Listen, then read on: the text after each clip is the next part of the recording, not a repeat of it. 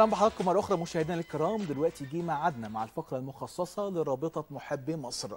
فقرة نستعرض من خلالها الرؤى والأفكار البناءة التي يطرحها أعضاء محبي مصر أو هذه الرابطة المحترمة في سبيل خدمة هذا الوطن. قبل كده في اللقاءات اللي شرفونا فيها الأعضاء سواء الأستاذ محمود بكري رئيس الرابطة أو عدد من الأعضاء اللي شرفوني في هذا المنبر أكدوا إن الدور الوطني لهذه الرابطة وطني بحت دون أي مصلحة شخصية والحمد لله لم يكن لها أي مصالح حزبية ويمكن ده اللي بيميزها عن أي يعني جهة أخرى بتسعى لإصلاح هذا الوطن. مواصلة جميلة جدا بتتم عبر آه، الجروبات اللي هي موجودة على الواتساب. شفنا قد إيه كم الاحترام وهننقل ده لحضراتكم. ويمكن الناس اللي مش يعني مش شايفاه بعيدا عن أعضاء الرابطة أعضاء الرابطة هيوضحوا لحضراتكم إزاي بنتبادل الرؤى والأفكار البناءة في سبيل أمن واستقرار هذا الوطن والنهوض به. إزاي نقدر نتكاتف سويا؟ إزاي نصدر ثقافة الاحترام ما بين الشباب اللي موجود في الرابطة وما بين الكوادر والقامات الكبيرة اللي بتحتضن الشباب وبتقدر تبلور الفكرة حتى يستفيد بها الجميع. أرحب بضيوفي أعضاء رابطة محبي مصر في هذه الفقرة الفنانة والكاتبة الصحفية الأستاذة أمينة سالم. أهلا بيك يا فندم وتحياتي لحضرتك أهلا وسهلا. أهلا وسهلا. وزميلي العزيز الإذاعي القدير والإعلامي الأستاذ علي الطواب. يا أهلا أستاذ. بيك يا عاصم. أهلا وسهلا بيك. أهلا بيك. منورنا. أشكرك حبيبي. أستأذنك نبدأ ب ladies طبعا، first. طبعا. أستاذة أمينة منورانا شكرا. سبب انضمامك لرابطة محبي مصر. ليه فضلتي أنك تلتحق أو تنضمي لهذه الرابطة؟ أم، أنا اؤمن إنه أم، الإنسان في العموم أه، تاريخ. وبالتالي أه، التاريخ بيرتبط بمفرداتك بحياتك بشخصيتك على اللونج بيكون ليك أساسيات أنت بتمشي عليها. الحقيقة كانت بدايتي بمعرفة ألا بكري الأستاذ الكبير مصطفى بكري ومحمود بكري من عام 2000 تقريبا آه، كان جولي آه، المسرح هم وعوائلهم في عرض ليا آه، بطولة عرض الأميرة ذات الهمة نعم ثم أنا بعد كده كنت ابتديت أكتب آه، مقالات سياسية في مع في الجريدة آه، ما جاز أنا اتفضلي يا أقول فندم، الأسماء اتفضلي. يعني في اتفضلي. تمام. آه، ثم كان في مقال ليا عن ثورة 52 وأنا عاشقة لجمال عبد الناصر. تمام. آه، فكان هيعدي ال time بتاعه ل time آخر آه، في وقت ما أنا بنزل المقال بتاعي في صفحة الرأي في الجريدة. تمام. فالحقيقة طلبت من آه، أستاذ مصطفى وأستاذ محمود إنه هو ينزل المقال كان أفتكر آه، كان يوليو والثوره. فنزل بشكل رائع جدا جدا يعني أبهرني الحقيقة. و...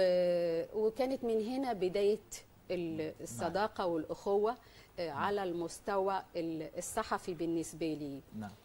آه، ثم بعد كده آه، ابتديت أكتب أوقات في الأسبوع على فترات. آه، الحقيقة كانت العلاقة بيننا علاقة تبادلية فيها غاية في الاحترام والتقدير. يعني لو كان حرف مثلا في مقال ليا يقول أستاذ محمود يتصل أمينة ممكن نشيل كذا؟ أو ابدا حسيت لحظة منهم في غبن أو في تعدي على يعني هم الحقيقة بيحافظوا قوي قوي على المساحة المحترمة اللي بين صحيح. ال- الأشخاص. ف آه، طبعا الأيام بتروح وبتيجي وبتظل العلاقة الطيبة والعلاقة المحترمة آه، بين الناس وبعضها. صحيح. والأستاذ محمود بكري من الشخصيات النبيلة الجميلة المحترمة حقيقي آه، وبدون تزلف وبدون أي آه، آه، مجاملة خالص على الإطلاق إنه آه، آه، فلما كلمني بقى على الرابطة وكده أنا كتير قوي اتصلوا بيا عشان أنضم الأحزاب.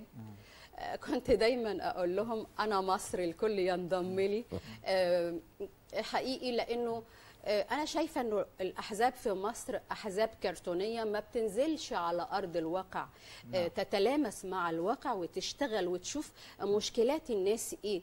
هم وقت الانتخابات آه، زي الممثلين الفاشلين يجروا يعملوا شوية صورة وجري جري علشان إيه نبقى موجودين في في الحدوته أنا الحقيقة ما بحبش ده قوي. أنا بحب ال- الأشياء الصادقة المتأصلة. فلما الأستاذ محمود اقترح ال- ال- الرابطة أعتقد كان في آه، آه، 11 12 2016 عمرها مش كبير صحيح، قوي. ولكن فعالياتها كتير قوي. صحيح. آه، ليه؟ لأنه كل اللي انضموا قد إيه ناس شرفاء وقد إيه ناس محترمين. هم آم، يعني حضرتك في كل المجالات تلاقي في رابطة صحيح. محب مصر آه، ثقافة فن علم إعلام إعلام صحافة، كل آه، المجالات. كل المجالات آه، آه، موجودة في رابطة آه، محب مصر. والجميع بينصهر في الجميع يعني صحيح. الجميع بينصهر في واحد. وتحسهم آه، في أي مكان الابتسامة صحيح. ال- التفاعل بشكل رائع جدا الحب آه، بيسبقهم. الاحترام والتقدير. المتبادل سمة غالبة ما بين أعضاء هذه الرابطة. جداً. وده اللي إحنا لامسينه الحمد لله كوننا أعضاء في هذه الرابطة. جدا. وبالتالي أنا بس في. اليونت صغير لحضرتك. وبالتالي ده آه، خلاني أنا ما عديش آه، آه، ابدا أي فعالية من الفعاليات أكون موجودة فيها مع يعني. الرابطة وأعضاء. مع الرابطة واعضائها تمام. أستاذ علي ليه انضميت لرابطة محبي مصر؟ اولا بشكرك يا زميلي العزيز عاصم على الاستضافة الكريمة. منورنا يمكن آه، السؤال جميل جدا ورائع لأن طبعا هذه الرابطة بتضم كيانات آه، ربما تكون آه، فردية لكن عملها عمل أكتر من مؤسسي الحقيقة يعني. يعني بتجد عندك تخصصات مختلفة إعلام وصحافة وثقافة وأدب وفن ورياضة واقتصاد وعلوم زراعية وكيمياء وتكنولوجيا الحقيقة زي ما تقول كده ضمير جمعي جمعهم الصحفي المحترم محمود بكري مع آه، نواب برلمانيين. في ناس معانا نواب في البرلمان. صحيح. الحقيقة آه، لما طرحت الفكرة كانت فكرة شائقة جدا وبسرعة لمست القلوب. الكل تدخل لأن العنوان محبي مصر. مين فينا ما يحبش مصر؟ لكن خلينا نتفق إن إحنا عندنا منهجية هي اللي مخلية الناس آه، تتمسك بهذه الرابطة. وأيضا في ازدياد وهي فكرة أن من يحب مصر عليه أن يحبها بشكل عملي. لأن ما عندناش رفاهية الوقت إن إحنا نضيعه في سجال ونقاش وما أكثر الموضوعات التي تطرح الآن. صحيح. آه، خاصة عندما تجد آه، وخليني أكون قاسي شوية أن إعلامنا المصري كله كله ربما يلهث وراء خبر هنا أو معلومة هناك. نعم. أنا بكلم راجل إعلامي وفاهم أن صناعة الإعلام ده صناعة ثقيلة ليست مهمة ش... يعني بسيطة وهي أمانة بالمقام الأول قبل أن تكون بالتأكيد. آه، آه، آه، مهنة يعني. فالرابطة لما الأستاذ محمود بكري طرح الموضوع وضم الناس وبدأ يبعت رسائل كل يوم أستاذة أمينة يمكن تشهد أعضاء جدد في مختلف التخصصات. يعني آه، أن لدينا كل التخصصات. يعني لو طرحت كده حاجة كده بايلك كده يعني بالحظ هل في تخصص مثلا موجود عندنا خبراء في كل المجالات؟ صحيح. الأجمل من كده تفعيل هذه الرابطة. كنا في زيارة لمركز المعلومات ودعم اتخاذ القرار التابع لمجلس الوزراء المصري. صحيح. الحقيقة كان زيارة رائعة. بتعرفنا نحن آه، ربما نكون جزء من النخبة. يعني لا أحب أن أصف يعني آه، عشان ما حدش يقول أنتوا بتمدحوا في نفسكم كتير. لا في ناس ربما عملها آه، تنقصه بعض ال- الروابط هنا أو هناك. صحيح. هذه الزيارة لمركز المعلومات وكان ده دليل عملي أننا لا نضيع وقت. أيضا الزيارة إلى مصابي الشرطة. الحقيقة آه، ال ال هذه الرابطة صحيح. ثقلها يأتي من تحركاتها الحقيقة على الأرض. بتتكلم عن زيارة مصابين بتتكلم عن بعد اجتماعي آه، في حدث. ولا حرج. نعم. اللقاء بيجمعنا بالمناسبة. تكريم تكريم الرقابة و- تكريم الرقابة الإدارية بقى ده كان شيء أيضا أكتر من رائع تخيل لما آه، تشعر الآخر أنك تقدر دوره. فكان فكرة الرابطة تحفيز بشكل تحفيز. بس صحيح. بعيدا عن الآليات السياسية اللي بتزعل الناس من بعضها بين قوسين طبعا. بعيدا عن التعقيدات بعيدا عن الروتين بعيدا في يا جماعة رابطة اسمها رابطة محبي مصر. اللي عايز يخدم البلد دي يا أهلا وسهلا بيه بتنزه. وبترفع آه الحقيقة كانت فكرة رائعة. أقدر وأثمن هذا الطرح وأيضا أقدر وأحيي كل من يجتهد نعم. لتظل هذه الرابطة قوية. تمام. بعيدا عن الأمور البسيطة اللي ممكن تزعل الناس من بعض. أنت عارف الآراء السياسية. مختلفة هنا أو هناك. قبل ما استفيض في مجموعة من الأفكار اللي بتطرحها من خلال هذه الرابطة حابب برضو أوضح للمشاهد اللي هو بيسمع رابطة محب مصر ولكن مش عارف الناس دي بتتواصل إزاي. آه أعضاء رابطة محب مصر بيتواصلوا من خلال المؤتمرات من خلال الزيارات من خلال الندوات اللي بيقوموها تمام. ولكن اللي بيجمع كل أعضاء الرابطة هو جروب على الفيسبوك. كلميني عن مدى التحضر مدى احترام الرأي والرأي الآخر في هذا الجروب. مدى الثقافة اللي هي موجودة ما بين ال- الشباب اللي بيتحاور في هذا الرأي يمكن يمكن أنا وأنا بنشر حاجة في على. على الجروب الأستاذ علي اتكلم معايا وانتقدنا بعض بس في الأول وفي الآخر إحنا أحباب بالعكس آه، آه، يعني ال- الملحوظه اللي أضافها ليا أفادتني وأنا وضحت له وجهة النظر فوصلنا أنا وهو في الآخر لحاجة ربطت إن إحنا نقدم حاجة أفضل للمجتمع. عايز أتكلم وأعرض للناس مدى الحاجات الجميلة اللي بتتم خلال آه، جروب محب مصر وال- والموجوده على الواتساب. هو أجمل حاجة في رابطه محبي مصر ان كل إنسان موجود في الرابطة جواه تسامح صحيح وجواه آه، آه، تنزه وترفع صحيح. إن هو جاي يعطي آم، قبل ما يفكر ياخد صحيح. أو يمكن ما يكونش أساسا بيفكر ياخد مم. آه، هو بيفكر فقط آه، أنا عايز آه، آه، أدي وبالتالي عنده قدرة على إنه يسمع الآخر صحيح. على إنه آه، يتعلم آه، آه، إن هو بيصغر آه، علشان ياخد المعلومة حتى الكبار اللي فينا من مستشارين ودكاتره كبار و و- آه، يقول له آه، تسمح لي حضرتك ما فيش حد بيقول أنت صحيح. مثلا آه، أنا ما شفتش من في رقي في نوع من الرقي حقيقي. في التعامل يعني. ده اللي أنا عايز أوصله للمشاهد تمام. صحيح. عشان كل الجهات الأخرى تقتدي بالسلوك الجيد والمحمود والتحضر اللي موجود في هذه الرابطه عفوا بجد بجد والله العظيم وليس تذلف. إحنا بنقتدي بأخلاق الرئيس. أنا بشوف إنه أخلاق الرئيس آه، عبد الفتاح السيسي آه، قد إيه أخلاق رجل جم جم الخلق.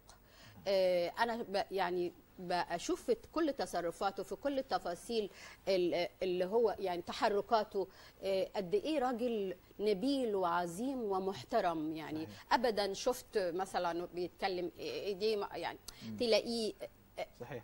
فده ده إحنا ده جمال المصري. نعم. آه، ده أخلاقيات المصريين اللي كانت كل الناس بتهفو لينا علشان آه، آه، تيجي من حبها لمصر ومن حبها لأخلاقيات الرجل المصري أو أو المرأة المصرية. نعم. وده الحقيقة اللي إحنا بنلمسه في رابطة محب مصر. حتى حضرتك لما بنبقى في التفاعل في الفعاليات اللي إحنا بنروحها أو كده تلاقي كل واحد فينا بيحاول يقدم زميله. آه، آه، محدش بيزاحم حد بالظبط. مثلا آه، على صورة مثلا وكذلك على الجروب لو هو عايز يقول حاجة حاسس اللي قدامه هيفهمها مثلا غلط أو كده بيروح باعت له على الخاص. يتحاور معاه على. الخاص صحيح. لكن على العام بتلاقيه هو إيه يعني في مسافات. ابدا حد فينا واحترام للرأي والرأي الآخر طبعا ابدا حد. فينا بيتخطاها ولو. لو حدث مثلا وحد فينا فهم الآخر يروح متصل بيه على الموبايل آه، يأكد إنه هو لأ أنا بعتذر لك أنا ما أقصدش أنا يعني الحقيقة شيء رائع جدا جدا الحب صحيح الحب آه، ثم الحب ثم الحب. هو صانع للمستحيلات وهو اللي بيبني أنا أؤمن إنه الحب هو أساس كل الأشياء. الحب هو الله سبحانه وتعالى وبالتالي الحب هو محور كل الأشياء. نعم. فإذا إحنا أحبينا ما نفعل بنجد بنصعد صحيح. آه، بنسمو آه، فوق ال- الأشياء. آم، حتى بنسمو اخلاقيا بنسمو انسانيا. وهو ده اللي إحنا بننشده في رابطة آه، محبي مصر على كل ال- المستويات. أستاذ علي كما تعلم والجميع أيضا إن الشباب هو الركيزة الأساسية لأي مجتمع. صحيح. والحقيقة الحاجة, الحاجة الجميلة اللي إحنا ما شفناهاش بقالنا عصور هو الاهتمام بالشباب من قبل رأس الدولة متمثلة في الرئيس عبد الفتاح تمام. السيسي. كونك إعلامي. عايزين نتكلم شوية دور الإعلام وشباب الإعلام إزاي يتم الاهتمام بيهم والتأهيل حتى يصبحوا كوادر بشكل كبير جدا تضيف للمجتمع. وزي ما حضرتك ذكرت مشكورة من شوية قلت إن الإعلام صاحب رسالة رسالة قوية جدا من شأنها أن تبني الأمة أو لا قدر الله تهدم الأمة. نعم. شباب الإعلاميين الدولة تهتم بيهم إزاي؟ إزاي نقدر نصدر إعلام نتباهى ونفتخر به أمام العالم أجمع إعلام طالع من شباب بيحتضن هذه الأمة عايز فقط المصلحة العامة لهذا البلد ثم البناء. نعم. اولا يا عاصم أنا بشكرك على السؤال الجميل ده. حبيبي، ربنا آه. آه لأن إحنا بنتكلم يا جماعة إحنا عندنا أهداف لازم نحققها. الدولة المصرية الآن بحاجة ماسة إلى من يساعدها بس بشرط يكون فاهم وعارف وعنده آلية للتواصل. ما يبقاش كلام آه، اسمح لي بس صح اتفضل. معلومة. إحنا جروب على الواتساب مش ملناش اي account على الفيسبوك خالص. انت عارف حاله حالة السجال والصداع اللي ممكن يحصل. إحنا مجموعة مغلقة. بيتم ترشيح ناس يعني لو استاذه امينه عندها حد كويس شايفاه بتثق فيه بترشحه عن طريق الأستاذ محمود بكري بحيث إن إحنا يكون في نقطة نظام. أدخل في سؤالك مباشرة عشان ما أضيعش وقت. اتفضل إحنا يا فندم آه، مشكلتنا إن إحنا كنا بنتحدث عن الشباب بنوع من أنواع الرفاهية. تمام. إن إحنا نهتم بالشباب ودور الشباب فكان المسائل ماشية. رفاهيه لقاء واثنين وثلاثة وخلاص وخلص الموضوع وشكرا على كده. هذا الكلام طول ما هو كان متأصل في فكر الدولة المصرية لم تجد لهم قائمة. صحيح. عشان نتكلم كلام منطقي وكلام عملي. ربما يكون قاسي لكن هي الحقيقة اللي لازم ننطلق منها. اتنين إن رأس الدولة مشكورا السيد الرئيس عبد الفتاح السيسي لما احتوى الشباب فكرة إنه يعمل بنك معلومات فكرة الأفكار دي غريبة على الشارع المصري. لم تسمع كثيرا في الشارع المصري. خلينا نتكلم بلغة الشارع المصري. حتى كان في بعض العتاب خليني برضه أقوله إن في شباب فوق ال 35 أي أعلم أن هناك وعدا رئاسيا إن يتم فتح الالتحاق فتح الباب للالتحاق بالشباب من تخطى ال 35 ودي نقطة يمكن مناسبة ظريفة إن أنا أذكرها مع حضرتك في البرنامج. تمام. طيب كوادر الشباب وتأهيلهم. يا جماعة إحنا عندنا مراكز بتصنع ناس وبتصنع ثقافات مختلفة. والله العظيم لما بأتصل ببعض الزملاء في محطات عربية أجد أن صانع القرار في في غرفة الأخبار نيوز روم مصريين. صحيح. وكالات أنباء عالمية صحيح. مصريين. شباب وشباب. صحيح. كله من جيل ال 30 35 40 مش معنى كده إن اللي فوق ال 40 مش شباب لا لا, طبعاً، طبعا شباب يعني. أساتذتنا. لكن. أنا بتكلم في نقطة فكرة أن تتحمل أنت كشاب وتمكين عليك الوقت. تأخذ القرار الص- الصحيح وإن أخطأت ستعاقب صحيح. بالعقاب المهني المفهوم ولكن لديك الفرصة كي تبهر الآخر. نعم. مصر الآن للأسف شبابنا مش واخدين فرصة إنه ينطلق لصنع شيء كويس وبالتالي يحاسب أو يعاقب عليه صحيح. سواء بالسلب أو بالإيجاب. الفرصة تيجي إزاي؟ لازم كل كوادر الدولة المصرية كل الجهاز الإداري للدولة. عندنا درجات وظيفية تبدأ من مدير عام وكيل وزارة وكيل أول وزارة. تمام. كانت في سنة كده تم يعني إقرارها في بعض المصالح مساعد الوزير. أنا في نفسي أفهم هو مساعد الوزير آه، بيتم اختياره على أي أساس؟ أو مساعد المدير أو أو إلى آخره؟ مش كل مصالح الدولة على فكرة بتعمل الكلام ده. لا يا جماعة يا جماعة أنتوا في مركز إعداد القادة. في يا جماعة آه، آه، أكاديمية مصر العسكرية العليا. صحيح. في يا جماعة مركز المعلومات ودعم اتخاذ القرار. في يا جماعة مركز الأهرام للدراسات السياسية والاستراتيجية. صحيح. يا جماعة في اللي بيقولوا عليها الأجانب الثينك تانك العقول المفكرة ال ال يعني ال المجموعة التي تؤهل يتم تدريبها وتنسيقها وترشيحها. وآجي على عاصم أقول له يا عاصم أنت عندك مسؤولية كذا قدامك سنة أو قدامك ست شهور.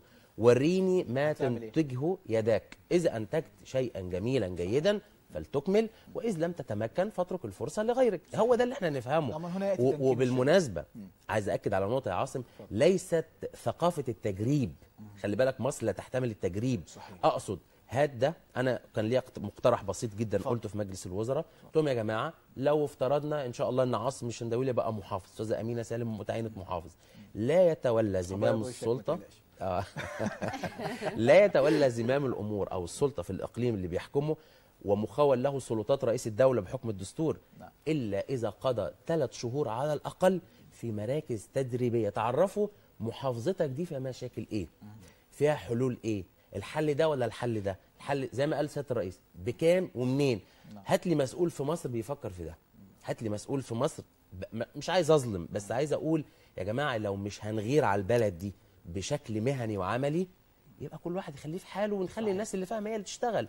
لكن فكرة إن واحد يجي يجرب فيا آه فكرة إن واحد يجي يقول لي لا الطريق ده هيكلف 100 مليون جنيه. آه طب لو فتحنا الباب للحوار المجتمعي ببساطة شديدة أنا عارف إن الوقت ممكن يكون ضيق عندك. يا جماعة مقترحاتكم إيه؟ ستجد مقترحات توفر على الدولة. أنا هقول رقم وأنا مسؤول عنه. ملايين الجنيهات. مش هقول مليارات هقول ملايين الجنيهات. ليه يا عاصم؟ لأن ربما تأتي فكرة لمواطن بسيط جدا. هو يا جماعة عشان بسيط أو بعيد عن الأضواء يبقى ما بيعرفش؟ لا ممكن لا يعرف. يا جماعة. يبعت بس فكرة. ندي الفرصة. يدي الفرصة. يا جماعة ادرسوا الموضوع ده. عايز اضرب نموذج سريع في شاب سريع. في محافظة الدقهليه في المنصورة. آه، آه، اقترح فكرة على أحد النواب إنه يربط شريط سكه حديد مدينة بمدينة المنصورة. المقترح ده عجب جلال السعيد وزير النقل. وأنا بشكره الحقيقة عن طريق تمام. شاشتكم يعني؟ إنه تم تم إقراره في خطة قادمة لإنه هيوفر فلوس على الدولة الانتقالات الداخلية. هيوفر برضو آه، آه، الوقود. هيخف الضغط عن هيخف الضغط عن. الطرق. نعم. إحنا عايزين أفكار مبدعة خلاقة. مش أفكار تقليدية جوه الصندوق.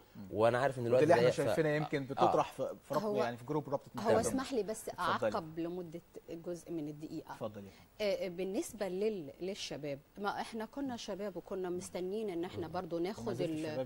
ال- أنا بتكلم اسمح لي على حاجة على إنه آه، إحنا إحنا دلوقتي الجيل اللي بقى واقع في النص ما, ما طالش ان هو ياخد مكانه قبل ولا إحنا خدنا مكاننا آه، دل يعني دلوقتي. لأنه okay آه، لازم على الشباب يعرف إنه في leader في مساحة من الخبرات عليه إنه يتعلم صحيح. عليه إنه يرصد صحيح. علشان لما يجي ياخد المكان بتاعه يبقى عارف يدير لأنه بقى في خبرة صدقني دي بتفرق كتير قوي قوي نعم. ده رقم واحد. رقم اتنين للوزير اللي يجي بقى يعني زي ما الأستاذ علي تفضل وقال إحنا مصر مش حقل تجارب لا إحنا هنفضل طول عمرنا نجرب لأنه التجربة هي بتخليك تنتج نتاج آه، قوي آه، آه، تفلتر الغث من الثمين. صحيح. ده على المستوى. ولكن على مثلا آه، دعم القرار ال- صحيح.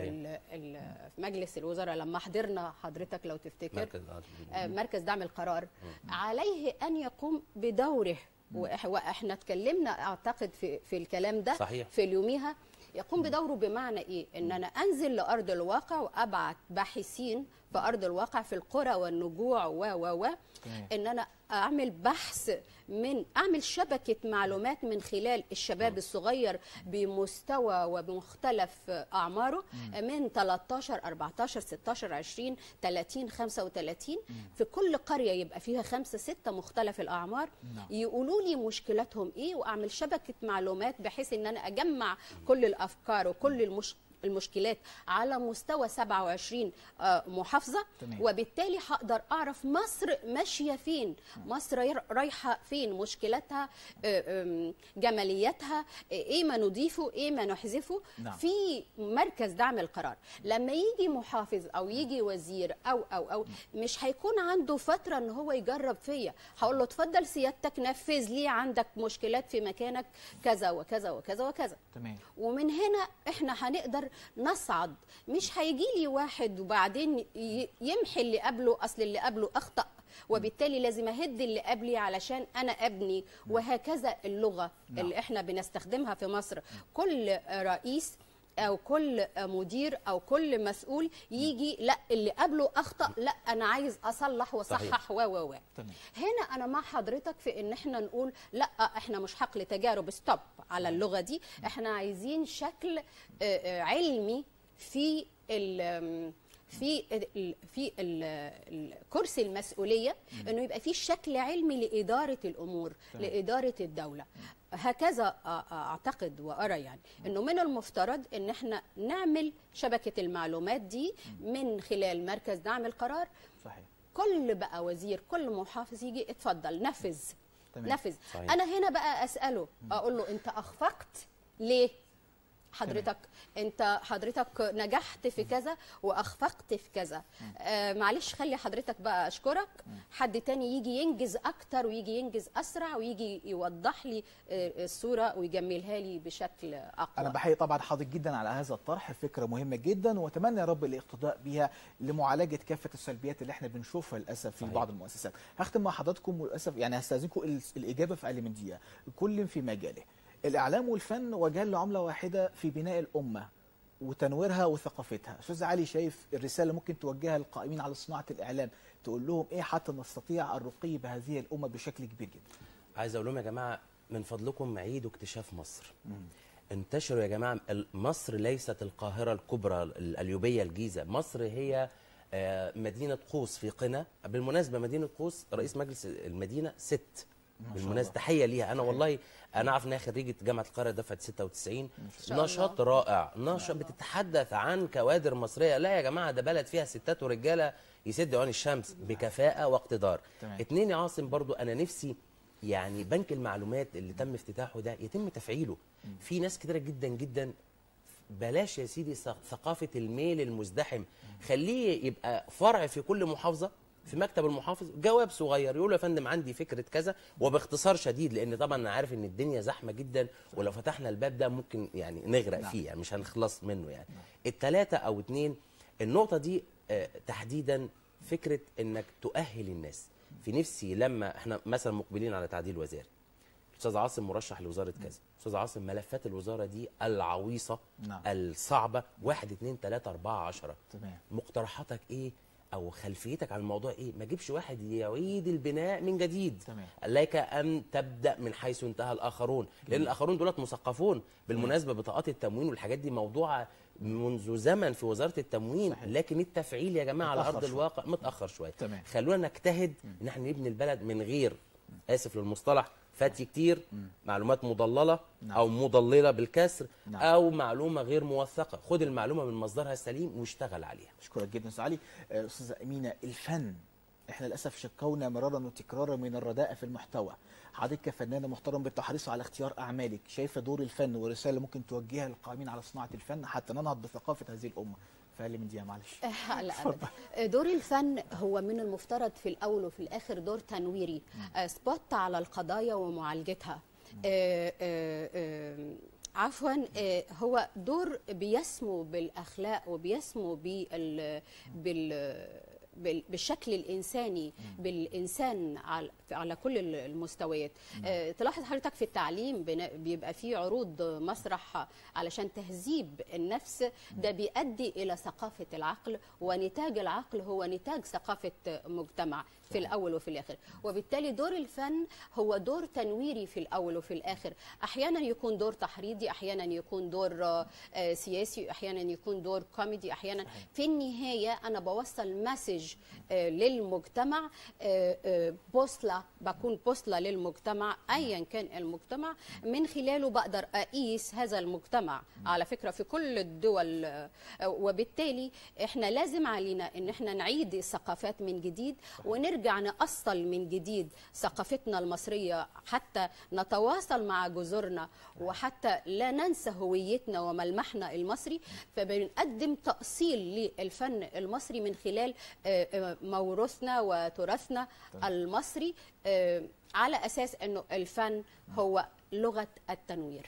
أنا بحييكم جدا جدا. كان نفسي. اقعد معاكم فترة اطول من كده ولكن التأخير جه من عند حضرتك يا أستاذ علي. اتاخرت أنا عارف زحمة أنا المواصلات. بعتذر والله. آه، لا يا فندم نورتونا أنا لا خالص. آه ده حضرتك جيت ما شاء الله. كنا عايزين السي- ندخلكم مع بعض. السيدات ملتزمات آه، بالظبط كده. أنا بحييكم جدا بحيي كل القائمين على رابطة محب مصر كلها أعضائها المحترمين وبتشرف دايما كوني أحد أعضاء هذه الرابطة. آه، الرابطة شكرا لكم جدا. بشكرك الفنانة الجميلة الأستاذة أمينة سالم. شكرا ليك يا فندم شكرا. لحضرتك بشكرك والقناة الجميلة. ربنا يخليك يا فندم. بشكر جدا آه، الزميل العزيز الأستاذ علي الطواب. شكرا ليك يا أستاذ علي أنا بشكرك يا عاصم بشكر كل التوفيق. فريق العمل. الصورة يا جماعة ليست سوداوية. أبشروا أبشروا الخير قادم إن شاء الله. بإذن شاء الرحمن الله. الخير قادم بإذن الرحمن على سواعد شباب مصر وسواعد كل المصريين المحبين لهذا الوطن. بعد الفاصل مكملين مع حضراتكم مشاهدينا وفقرة حوارية أخرى من برنامجكم ساعه صبحيه انتظرونا.